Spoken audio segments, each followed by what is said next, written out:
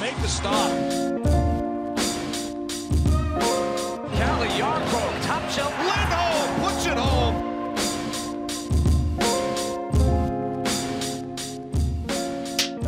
We're all from the same hometown in Gävle. Tell us about something in Gävle. What makes it special The only you? thing we're famous for is the the Christmas goat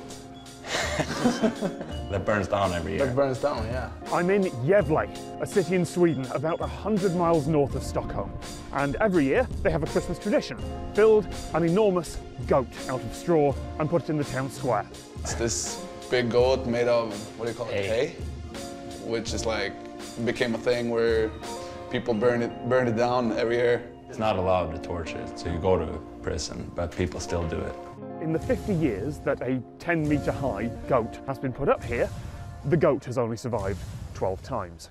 Not only are we from the same place, but you guys are also cousins. What are your first memories of each other? I just remember like a lot of hockey matches on at your place. Street hockey, Street yeah. hockey, yeah. A lot of street hockey.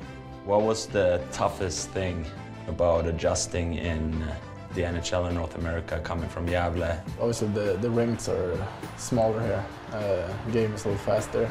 And then life-wise, you know, new language, new people. Took a little time to adjust for me for sure. I Can only agree. I can only agree. So Calle said you guys would have to fight over who gets to uh, let him stay at your house. Yeah, you can have. him. I don't want. How excited were you guys uh, to hear the news? Obviously, we're uh, really close, so it's, uh, it's exciting times to be able to play with him again. What did uh, the team ask uh, you about Calle before uh, we traded for him? They asked me if we were cousins. they were interested in Johnny because he's a good player and a good person. That was it.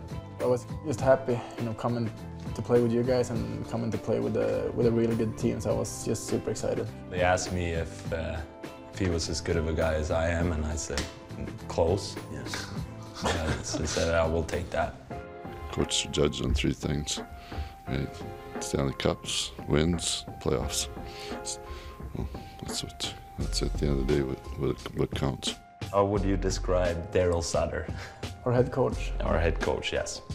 He's a winner, and you know that's that's what I what I like about him. You know, he's good at motivating for each game, I think. Uh, as soon as one game is over, it's start thinking about the next one. Like Linda said, as soon as the game's over, you know, we haven't got our helmet off. It's, it's you know, preparing on to the next one. And, uh, you know, he's, he's really good at keeping us on our toes and not get comfortable. And during an 82 game season, I think that's, that's really important.